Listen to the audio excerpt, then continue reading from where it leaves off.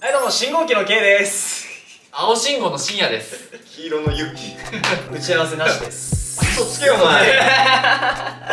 お前そういうの俺逃がさないよ。逃がさないから。慌てて赤パンツ履きに来ました。はい、えー、というわけで今日の企画はメンクロの今月のドゥドゥンえ女子プチプラバージョン。イエ来月恒例のねメンクロの一押しですがプチプラの部門と中価格帯以上のねアイテムとでちょっと分けてみようという試みをね今月から開始いたしまして、はい。というわけで今日はプチプラバージョンということではい、毎月おなじみの恒例の企画ですがメンクロの一押し等はコスパ、着回し、安さ、トレンド性この3つの観点から僕たちメンクロがおすすめのアイテムを紹介していくという、えー大人気恒例企画でございます。自自分で言っちゃう。なるほどなるほど。でまあ特にこのプチプラ編ではどれだけ高見えできるかっていうのが結構重要なポイントなのかなともちょっとそうだ思いますよね。えーじゃあね僕たちが選んだアイテムが何なのかそれは早速見ていきましょう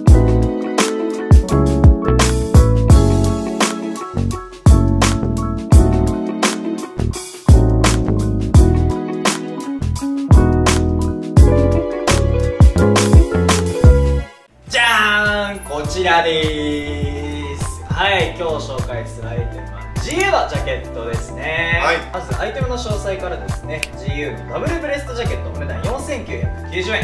サイズ展開が XS から 3XL まであってこちら M サイズですね。でカラー展開が、えー違う品番のもあるんですけどこちらはネイビーのみで違う品番の方がチェックはいですね。はい。こちらのアイテムなんですけどもウオモとのコラボですね。ウオモウオモはい。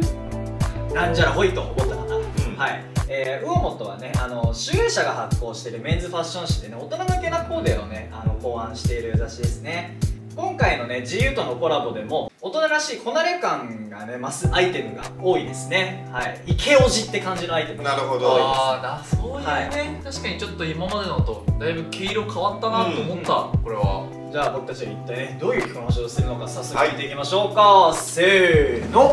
じゃーんこちらでーす。暴れる国。はい。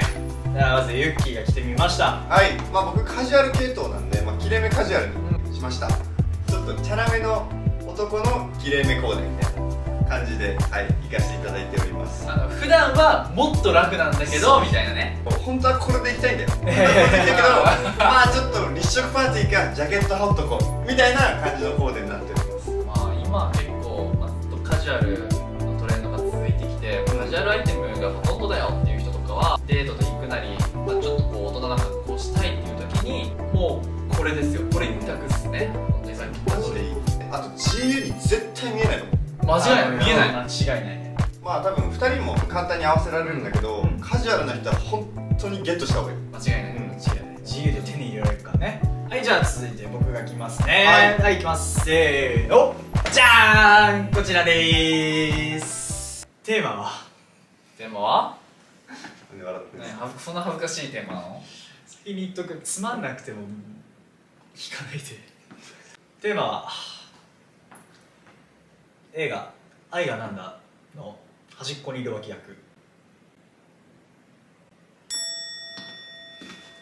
本当にあの愛がなんだを見たことがなくて。MeToo です。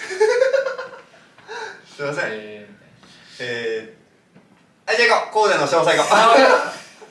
はいえー、中はねかなり派手めな柄シャツで合わせてタックインで、えーデニムで合わせてでヒールブーツね。パールネックレスも合わせることによってよりなんかちょっと古着好きっぽいなんか印象を与えてますね。まあこれから僕あ古着屋で働くことになったんですけども、まあ、なんかそういうのもあってちょっと古着テイストなコーデも最近挑戦していきたいなと思いまして古着モード系。そういうコーデにぴったりなジャケットだなって僕は正直思いましたね。お前なんだあの動きっしょ。3秒に1回裾掴まないと死ぬの。ずーっともう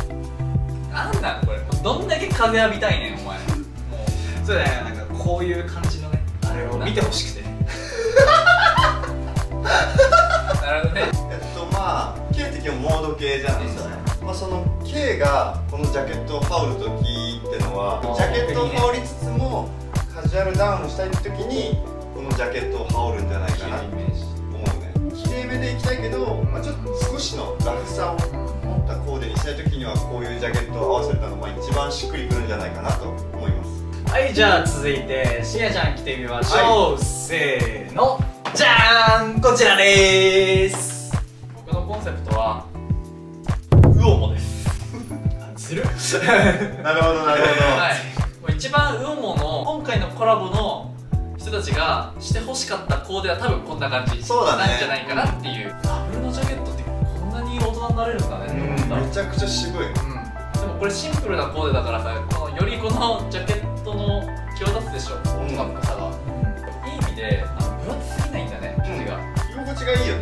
うん、すごくちゃんとだらしなくならないぐらいの柔らかさが。うん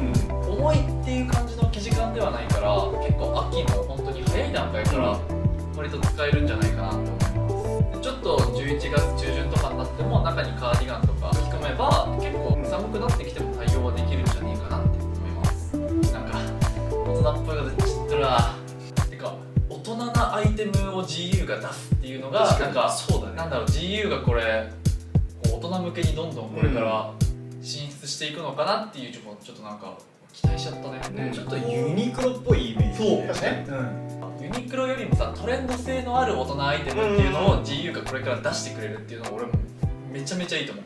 はい。というわけで今日はメンクロの今月のドゥドゥン一押しプチプラバージョン。でした。いかがだったでしょう？はい、えー、こちらのアイテムなんですけどね大型店限定だったかな確かね。あそうなんだ。まあ、オンラインでも買えるんですけど、まあ、実際に店舗行きたいっていう人は、まあ、大型店の方に寄っていただいて実際に物を見ていただいて。だちょっとそこだけ注意してくださいね。動画内に言った通りカジュアルな人はね本当ぜひゲットしてほしい。そのシティカジュアルっていうコーデもまあ組めるようになるしまあカジュアルな服装でのデート服って一番難しいから、うんそういう時にこれ羽織ってったらねあ今日はちゃんとパーカーじゃない服着てくれ 着てくれてるみたいな。